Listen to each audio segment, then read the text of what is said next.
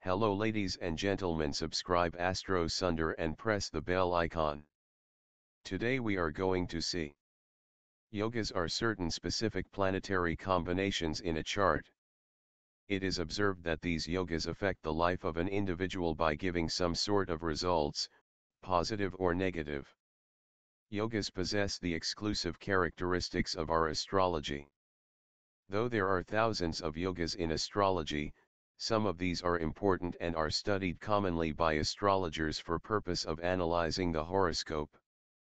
Kambula Yoga A planetary combination produced by Ithazala relationship between the Lord of the Ascendant and the Lord of the Tenth House, especially when one of them is associated with Moon.